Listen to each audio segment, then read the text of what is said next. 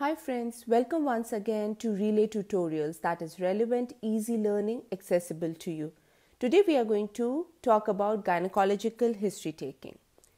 Introduction of the patient. It remains the same as in obstetric history taking, so I'm not going to repeat it. You can follow our initial videos for the introduction part. From introduction, let's move on to chief complaints. The most common complaints of a gynec patients are generally related to bleeding during menses. It can be heavy menses, scanty periods, menses coming at frequent intervals, or delayed cycles. The next most common complaint is discharge per vaginum.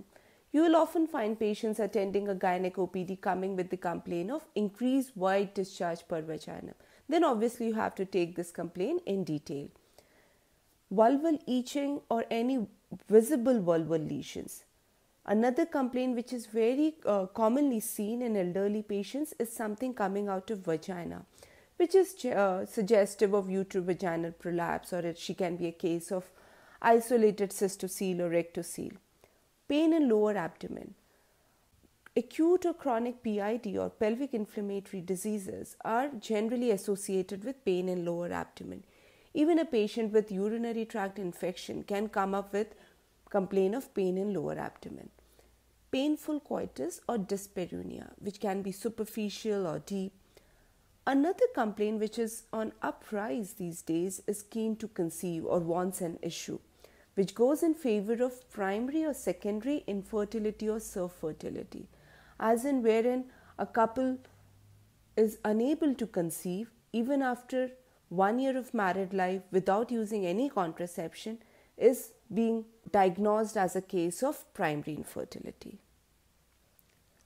Then, of course, the history of present illness. It will start with onset, duration, and progress of the chief complaints in a chronological order. As we take in all the history takings, whether she's a patient of, you know, uh, surgical illness, or you are in medicine department, or you are taking case in obstetric, OPD, you have to take history of presenting illness. Try to elaborate the complaints in detail for example, if she comes up with discharge per vaginum, as I was talking earlier, ask in detail the color of the discharge. Is it mixed? Is it green frothy discharge? Amount, as in how frequently is she changing her underpants? Are there, you know, soakage of panty liners? Is she using any pads for the same? Odor. Some discharges can have a typical fishy odor. Or is it that curdy white discharge? does that discharge has any cyclicity as in they are related to her menstrual cycle? If at all it is blood stained this is a very uh, important point to notice. Are there any associated symptoms like vulval itching or itching in the perineal area and pain in lower abdomen? Look for the causative factors as in what could be the etiology behind it see if there are any risk factors like if she's on any medication like corticosteroids or if she's a known case of diabetes mellitus or if you know she uh, comes from a rural area where the hygiene is very poor. See if those dis- those complaints are leading towards any complications in that patient. I'll give you another example that is lump in abdomen ask when was the first time she noticed that lump? What was the initial size and whether it is you know it has increased gradually or fast over what period of time? And if there is any associated pain any pressure symptoms that is related to her bowel bladder habits have come up. If there is any bloating or dyspepsia you know sometimes this bloating and dyspepsia is the first lead towards an ovarian mass and has the cycle pattern also changed uh, from the time she has started noticing that lump. You know, it can often present with some intermenstrual bleeding. It can often come uh, present with frequent cycles if it is some uterine mass or if it is some ovarian mass. For prolapse, again, you need to mention as something coming out of vagina since when. Elderly patients often hide this complaint. You know, they would not mention the exact period. They would, you know, live with that prolapse for a month, you know, for for even a year. So you really have to get friendly and ask again and again since when she has been uh, facing this problem and whether it is present only on straining or is it there all the time. If at all, it is reducible or reducible. Most of the cases, it is reducible. But in some cases, if it is a long standing prolapse, it can be an irreducible one. That is, it cannot be reduced back into the vagina. Ask her if it is causing difficulty in micturition or defecation, if she has to push it inside to pass urine or to pass stools. If there is any associated discharge or bleeding per vaginum, a decubitus ulcer may cause it very often. Menstrual history. I have talked about menstrual history and obstetric history taking also, but we will have to, you know, discuss it in detail when we are dealing with a patient with a gynecological disorder. Begin with the age when she attained her menarche. Then, of course, the LMP or last menstrual period. Here, the patient is not pregnant, so we are not, you know, jumping to expected date of delivery. Here we are going to ask her menstrual pattern in detail. What is the length of her cycle? Like as in at what interval she is getting her menses. It can range from 22 to 35 days. That is the normal range. What is the duration of flow? How many days does it last? Two days, three days, four days, five days. So it can be anywhere between two to seven days. Amount of flow, which you get an idea through the number of pads she is using per day and whether they are homemade pads or she's buying those sanitary napkins you need to be specific about that. Or is she passing cloths also? Ask for the associated pain that is dysmenorrhea or Mittelschmerz that is mid-cycle pain which occurs during the time of ovulation in few patients. Is there any history of intermenstrual bleeding or spotting? Any premenstrual symptoms like breast discomfort, pain in the breast, mood swings, tearfulness, etc. Next thing is contraception history. Ask about the current method they are using as contraception. You may have to, you know, enumerate in front of the patient. Barrier contraceptive, example condom, which is the most frequently used method in our country. Then, of course, the oral contraceptive pills, sometimes they would not understand the word oral contraceptive pill so you have to quote it in hindi or you may you know quote few brand names the popular brand names. If nothing comes to your mind at least you should remember the brand names of the contraceptive pills which are easily and freely available in the government hospitals that is mala d and mala n then patient would realize what exactly you wish to extract. Again they are very hesitant to discuss the contraception in front of a doctor IUCD or intrauterine contraceptive device, which could be a multi-load Copper-T. Commonly, uh, the word Copper-T is used in India, so you may just ask directly. Mirena, which is a progesterone releasing intrauterine uh, contraceptive device, it is more commonly used in Western world. Any other methods used in the past for interpregnancy interval? If she ever faced any complications related to contraception used, failure of contraception, and what was the reason to discontinue, if at all she has discontinued. These days, even the emergency contraceptive pill or pill 72 is being overused in our country, so you may even take history of that.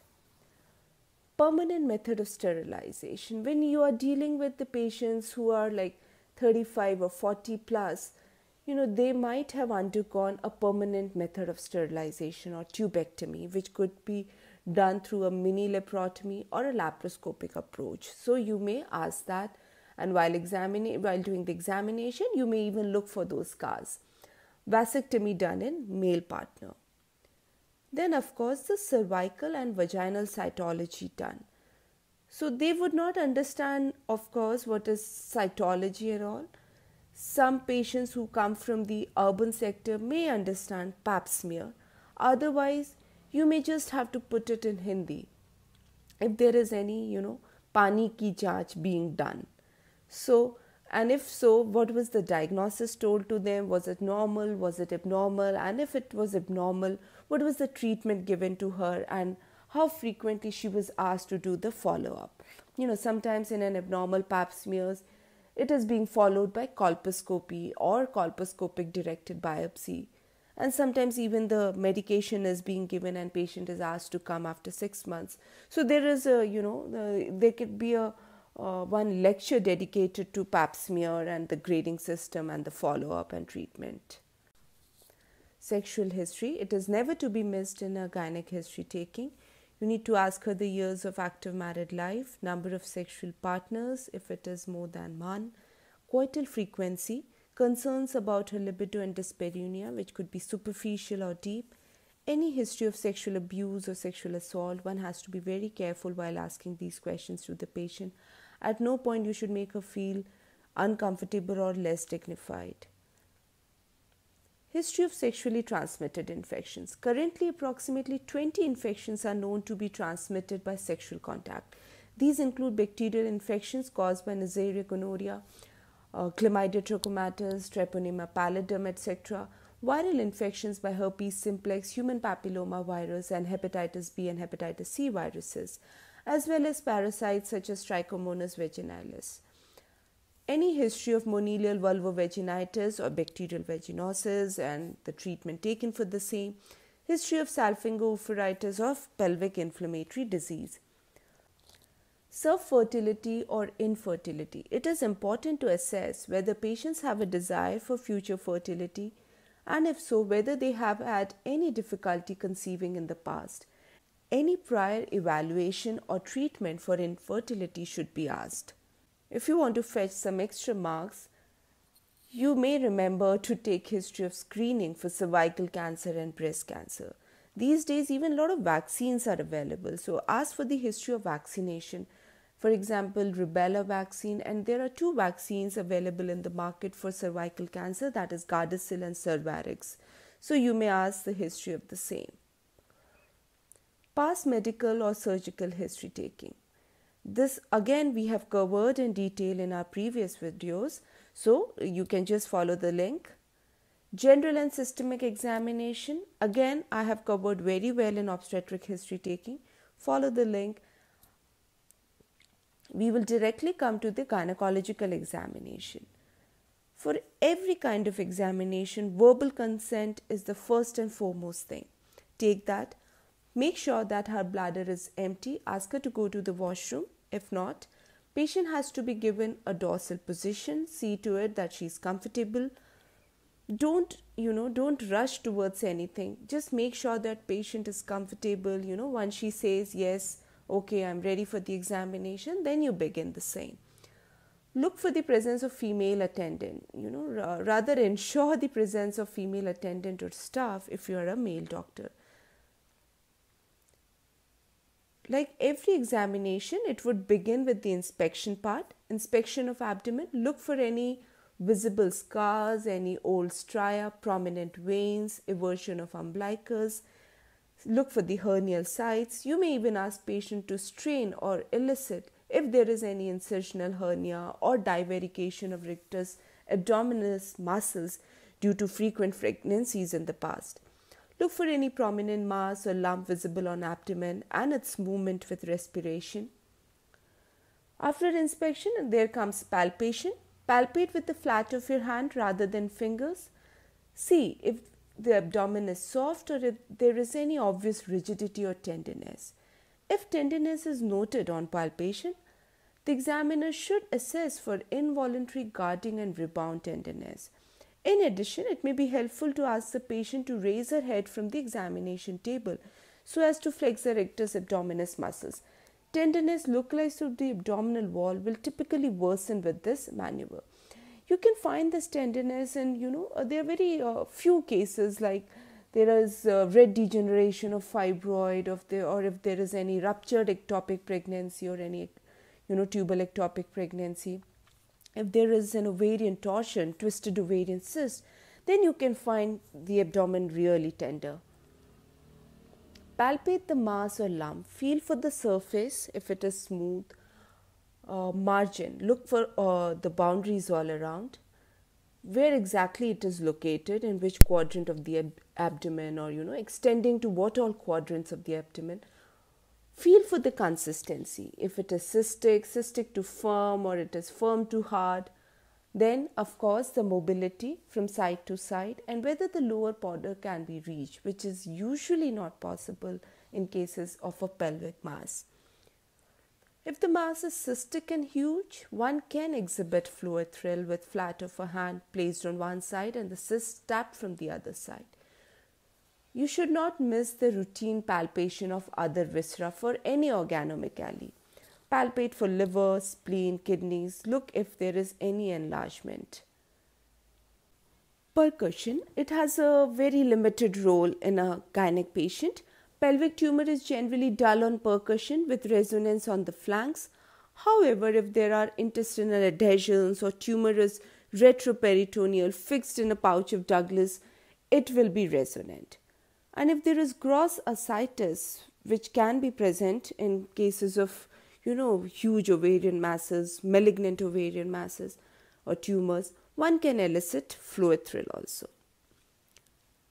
Auscultation. We talked in detail about auscultation and obstetric history taking because there it is very important. You know, one auscultates fetal heart sounds. But in gynecological history taking, normally one would auscultate just the bowel sounds.